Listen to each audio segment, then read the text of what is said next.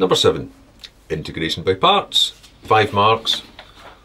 Nice and easy, except you notice, oh, they've got an x squared. That means you're going to have to go through the process twice. Because the way you work out the integration by parts is you're wanting one of them to whittle away.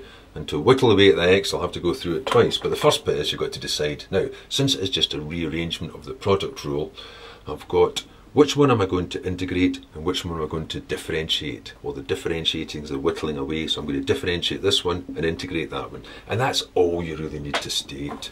There's no point putting all this stuff down at the side of I'll choose U as this and V as this and integrate that and differentiate that and so on. The pattern's quite clear and straightforward. It's a rearrangement of the product rule. So what we've got here is then you differentiate this, you integrate this, integrate first. So I'm going to leave that 8x squared but integrate this. Now sine would have come from cos, but unfortunately it would be a negative cos that produce that. So it's going to be negative cos of 4x. It's not just a function of x, it's a function of a linear expression, 4x, so then divide by the, the inner derivative, so it's negative a quarter x.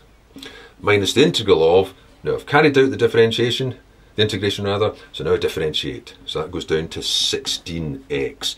And I've already done this one, so it's left alone. So that's a quarter of cos 4x dx.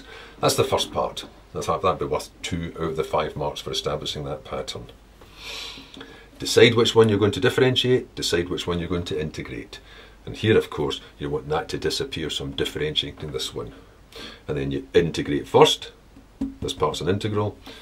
Differentiate that, make it smaller. I've still, of course, got this integral to do.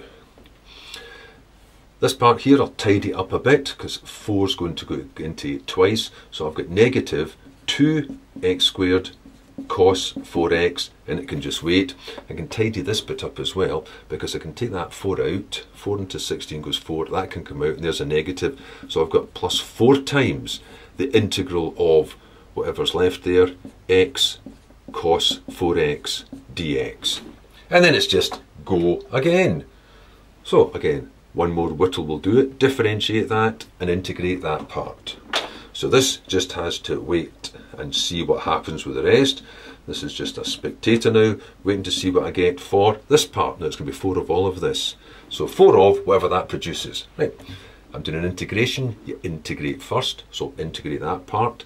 The x waits while I integrate cos, that's easier this time, because sine produces a positive cos, but it is a function of 4x, so divide by 4, minus the integral of, now differentiate this one, that goes down to 1, leave that one alone, a quarter of sine 4x dx.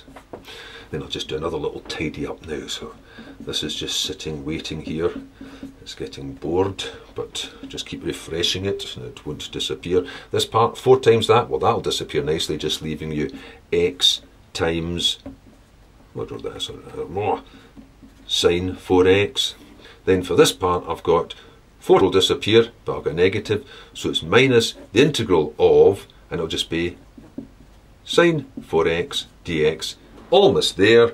I've got negative 2x squared cos 4x plus x sine 4x. Sine will go back to cos. Cos would have produced a negative sine, and I've got a negative there. So plus cos 4x, but divide by the derivative, so plus a quarter of that, and then plus c which would do for the answer, unless I wanted to gather up the terms a bit, because I could have a separate sine term and cos term, cos term. So I could say for this, I've got this, depending which one I want to put first. Maybe I'll put that first. So I've got x lots of sine 4x, and how many lots of cos 4x is there? And I've got plus 1 quarter minus 2x squared lots of cos 4x plus c. But that last part's optional. And that was it. Just remembering, of course, the pattern then for that. You've got to choose which you do, do you differentiate, which do you integrate. Then out of the two, you integrate first. It's an integral you're doing. You integrate first, leaving that one alone. And then that, having had its turn, is left alone. And the other one gets its shot to do what it was going to do, which is differentiate. And since it needed to go again, you did the same again. Which will differentiate? Which will integrate? Obviously x will disappear. Then it's an integration. Integrate first. So you leave that alone just now and integrate that one. And then that having been integrated just carries forward and now it can get its differentiation. And then the final integration takes you to the answer.